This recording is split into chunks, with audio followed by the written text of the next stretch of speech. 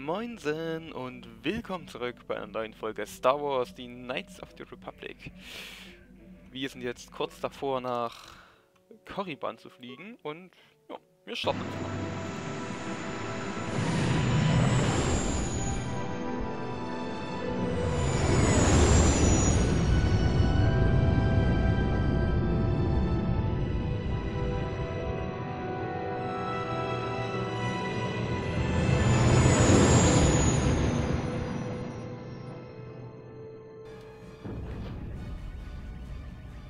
Passiert?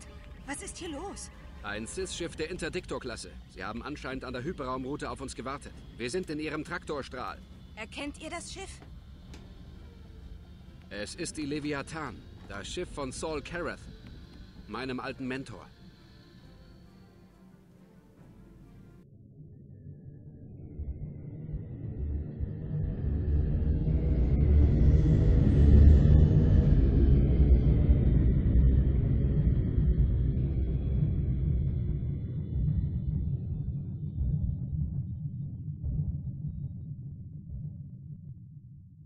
Admiral Karath brachte mir alles bei, was ich über das Leben eines Soldaten wissen musste.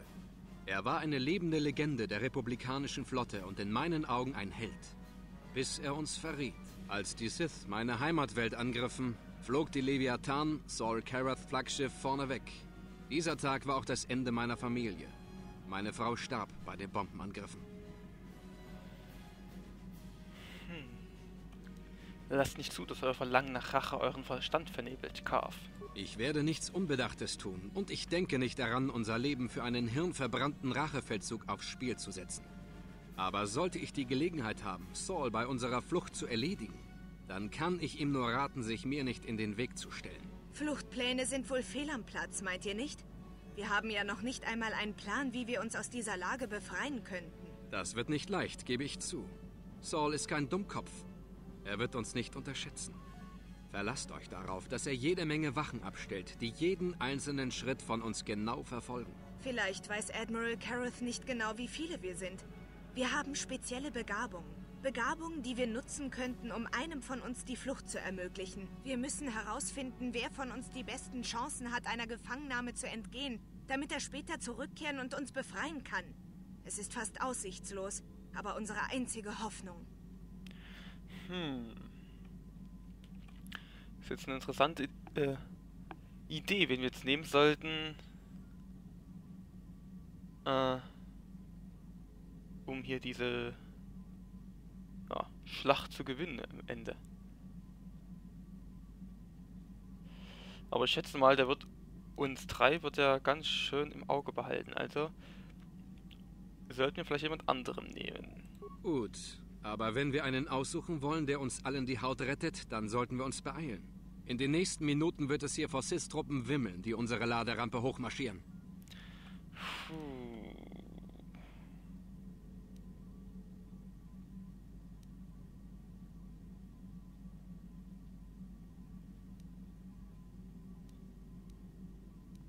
Ich mal sagen Johanni, weil die ist... Die ist halt, wie gesagt, ein Jedi- Jedi-Hüter und kann halt sehr gut mit ihren Schwertern austeilen. Ja, ja. Ja, das machen wir mal so. Ihr sprecht die Wahrheit. Mir ist es vielleicht als Einzige in der Gruppe möglich, versteckt zu bleiben, wenn die Sith das Schiff durchsuchen. Ich könnte warten, bis die Wächter ihre Durchsuchungen abgeschlossen haben und euch dann befreien. Äh, wir versuchen es auf eurem Weg, Johanni. Möge die Macht mit euch sein. Wartet! Sie ziehen uns an die Landungsbrücke. Ah, da bin ich mal gespannt. Bastila, Karth und die Crew wurden wie befohlen gefangen genommen, Commander. Sehr gut. Haben Sie das Schiff gründlich durchsucht? Admiral Karath hat mich ausdrücklich vor Verrätern gewarnt. Wir haben das Schiff gründlich durchsucht. Wenn wir jemanden übersehen haben, muss er unsichtbar sein. Gute Arbeit. Gehen Sie zurück auf Ihre Posten. Ich informiere den Admiral. Oh, Karth, es ist schon viel zu lange her, dass wir miteinander sprachen. Ich sehe, die Zeit war nicht gnädig zu euch. Ich habe euch kaum erkannt. Ich habe euch gleich erkannt, Saul. Ich sehe euer Gesicht jede Nacht. Immer wenn ich mir schwöre, dass ich euch für alles bezahlen lasse, was ihr meiner Heimatwelt angetan habt. Habt ihr nichts in der Zeit gelernt, in der ihr unter mir gedient habt, Karth? Als Soldat solltet ihr wissen, dass Opfer unvermeidlich waren. Es war Krieg. Das war feiger Verrat.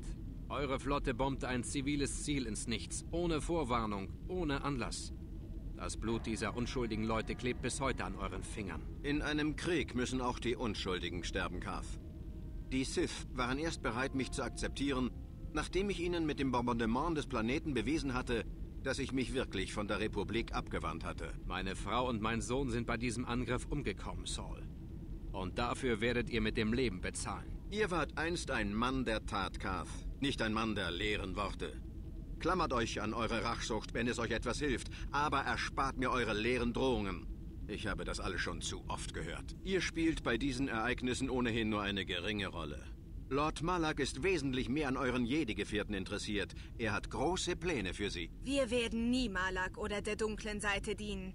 Die Sith werden vernichtet, Admiral Kareth. So wie ihr, wenn ihr nicht umkehrt. Tapfere Worte, Bastila. Doch der Verlockung der dunklen Seite ist schwer zu widerstehen. So sagt man zumindest. Ich frage mich, ob eure Begleitung dem Licht ebenso treu dient wie ihr. Ihr verge vergeudet eure Zeit, Saul. Ich werde die Jedi niemals verraten. Ihr wehrt euch? Ich bin mir sicher, dass Malak eure Loyalität den Jedi gegenüber als amüsant empfinden wird. Der dunkle Lord würde mich vermutlich belohnen, wenn ich euch einfach aus dem Weg räume. Doch er will euch verhören, nach all den Schwierigkeiten, die ihr gemacht habt, und der gemeinsamen Geschichte, die ihr teilt. Geschichte? Wovon sprecht ihr? Ihr wollt damit sagen, oh, das gibt es doch nicht, oder? Ihr wisst wirklich nicht, was hier vor sich geht, was? Nun, ich will Malak doch nicht die Freude nehmen, es euch persönlich zu sagen. Der dunkle Lord wird euch zweifellos foltern, um Informationen zu erlangen und um seine verdorbenen Gelüste zu befriedigen. Früher oder später werdet ihr ihm alles verraten. Die Sith können sehr überzeugend sein. Doch Lord Malak ist in einem anderen Sektor. Es wird wohl noch einige Zeit dauern, bis er hier ankommt. So werde wohl ich für ihn anfangen müssen. Aktiviert die Folterfelder.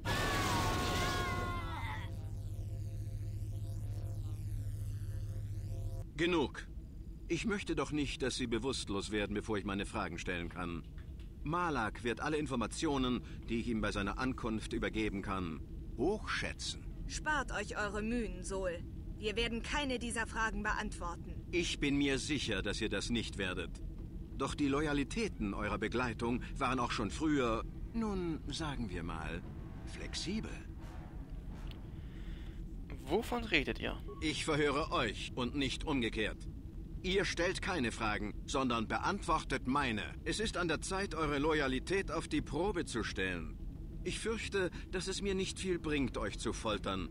Euer Wille ist zu stark, als dass man ihn so brechen könnte. Doch selbst die stärksten Helden können jene, die sie lieben, nicht leiden sehen. Das Verhör beginnt jetzt. Jedes Mal, wenn ihr euch weigert zu antworten oder mir eine falsche Antwort gebt, leidet Bastila.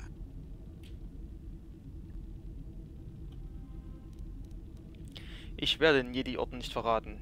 Nicht einmal um Bastila zu retten? Hm. Auch so winseln ist Mist. Nee, nee, nee. Wir machen das weiter. Mein Schmerz spielt keine Rolle. Erzählt ihm nichts. Mich ermüden diese Spielchen. Ich will meine Antworten und ich will sie jetzt. Auf welchem Planeten ist die Jedi-Akademie, in der ihr ausgebildet wurdet? Die Jedi-Akademie? Ich habe keine Ahnung, wovon ihr sprecht. Also gut. Das ist der Preis für euren Widerstand. Ah! Genug. Ihr seht, was passiert, wenn ihr euch zu widersetzen versucht? Die erste Frage war nur ein Test. Natürlich weiß Malak, dass die Akademie auf Dantooine war, bevor sie von unserer Flotte zerstört wurde. Dantooine ist jetzt nichts mehr als ein großer Friedhof. Dort stehen nur noch rauchende Ruinen, in denen die verkohlten Skelette eurer ehemaligen Meister liegen. Nein, ihr lügt. Das ist nicht wahr. Es spielt keine Rolle, ob ihr mir glaubt oder nicht. Die Jedi auf Dantooine wurden ausgelöscht und damit auch jede Hoffnung, dass euch jemand retten könnte. So. Und jetzt erzählt mir von eurem Auftrag. Wie solltet ihr Lord Malak und die Sith Armada aufhalten? Hm. Wir wurden hierher geschickt, um Lord Malak zu töten. Haltet ihr mich für einen Narren? Die Jedi sind keine Meuchelmörder. Sie würden niemals auf so einen Plan verfallen. Vielleicht benötigt ihr eine Erinnerung, welche Konsequenzen es hat, wenn ihr euch weigert zu kooperieren. Nein! Ah, ah, Diese Schmerzen! Diese Schmerzen! Ah! Könnt ihr sie leiden hören? Ihr könnt ihr weitere Schmerzen ersparen, indem ihr einfach nur meine Fragen beantwortet. So, ich frage erneut. Welchen Auftrag hat euch der Rat der Jedi erteilt? Ihr seid ein böser und kranker Mann, Saw Kareth. Vielleicht wäre es jetzt Zeit für eine weitere Lektion, ja? Nein! Au! Au! Nein! Ich flehe euch an! Gnade! Nein! Es wundert mich, dass sie nicht schon früher bewusstlos wurde. Nur selten sah ich, dass jemand solche Schmerzen erduldete, ohne bewusstlos zu werden. Ich sehe schon, dass ich hier nur meine Zeit vergeude. Wenn Malak ankommt, werdet ihr herausfinden, dass meine Verhörmethoden im Vergleich zur normalen Vorgangsweise bei den Sith gnädig sind. Ich werde euch hier in eurer Zelle lassen. Was ihr jetzt erlebt habt, war nur ein kleiner Vorgeschmack des Schreckens, den Lord Malak für euch bereithält.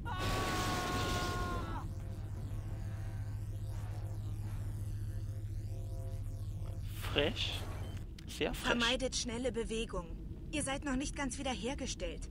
Admiral Kareth ließ euch weiter foltern, als ihr längst das Bewusstsein verloren hattet. Sie haben uns alle gefoltert, auch wenn ihr das Schlimmste los ertragen musstet. Saul wollte uns leiden sehen. Er ist ein sadistisches Monster geworden. Die dunkle Seite hat ein Monster aus ihm gemacht, Karth. Wer diesen Pfad einmal eingeschlagen hat, wird immer weiter in die Tiefen des Bösen hinabgezogen. Ich fürchte, er ist für immer verloren. Puh. Ja, ja, vielleicht habt ihr recht. Angesichts dieser zügellosen Grausamkeit kann man den Hoffnungsschimmer schon mal aus den Augen verlieren. Aber es stimmt, was ihr sagt. Die Nachricht von der Zerstörung Dantooins hat mich schockiert. Erst Taris, jetzt die Akademie. Nimmt das denn gar kein Ende? Vielleicht hat er ja gelogen. Ich würde gerne glauben, dass Sol uns angelogen hat. Aber schon bei seinen ersten Worten wusste ich, dass es stimmt. Die Akademie ist verloren. Wir hätten die Erschütterung der Macht spüren müssen, als der Angriff kam. Die Tatsache, dass wir nicht spürten, ist ein schlechtes Zeichen. Ich fürchte, die dunkle Seite wird immer stärker und verbreitet Schatten, die wir nicht durchdringen können. Ich hoffe, dass wenigstens ein paar Jedi entkommen sind. Rook, Vandar, Zar. Ich kann mir nicht vorstellen, dass alle umgekommen sein sollen. Wir haben unseren einzigen Zufluchtsort in der Galaxis verloren. Das spielt aber alles keine Rolle mehr, wenn wir nicht bald aus diesem Gefängnis rauskommen, bevor Saul zurückkehrt. Wo ist er jetzt? Saul sagte, dass Lord Malak auf dem Weg hierher sei.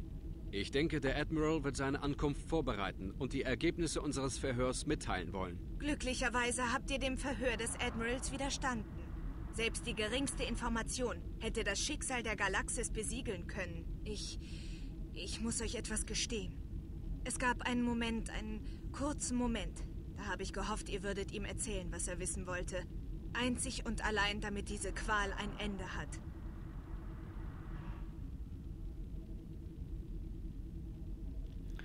Saul hätte uns ohnehin gefoltert. Ganz egal, was ich ihm gesagt hätte. Ich kenne Admiral Karath schon seit langer Zeit und denke, dass ihr recht habt. Das Verhör war eine Farce. Saul hat mit uns gespielt. Was wir sagten, war ihm völlig egal. Ich denke, das Ganze war lediglich ein Vorwand, uns zu quälen, bevor Malak eintraf. Habt ihr das gespürt? Eine Erschütterung der Macht. Der Admiral hat seine Nachricht gesendet. Der dunkle Lord weiß jetzt, wo wir sind. Malak ist im Anmarsch. Dann sollten wir hoffen, dass Johorni uns hier herausholt, bevor er kommt. Da bin ich mal Niemand gespannt. wird mich sehen. Uh. Unsichtbar.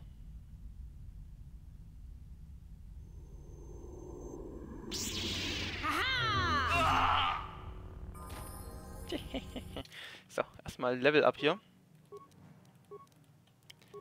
Um, Kräfte. Da lernen wir mal einen Machtblitz. Ist immer gut. Was will Jedi-Hüter? Sehr gut. Genau, der ist nämlich am kampfstärksten, was äh, ja, Jedi-Talente angeht. An, äh, nicht Jedi-Talente, sondern den Lichtschwertkampf angeht. Was natürlich äußerst praktisch ist. So, wie sieht es denn mit unserer Ausrüstung aus? Neuralband, ja gut, haben wir nichts anderes. Ähm, ach so, wir haben nur das hier, was wir dabei haben. Das ist natürlich schlecht. Gut, na egal, wir haben zwei Laserschwerter, das reicht. Die Items sind wohl alle auf der Ebbenhawk verblieben. Gut, oder auch nicht. Je nachdem. Wir sind ja auf dem Schiff von Sarkareth und wie uns die Johanni dann hoffentlich rausholt, das sehen wir in der nächsten Folge. Ich hoffe, ihr hattet viel Spaß und schaltet doch dann wieder ein. Bis dahin, haut da rein. Ciao.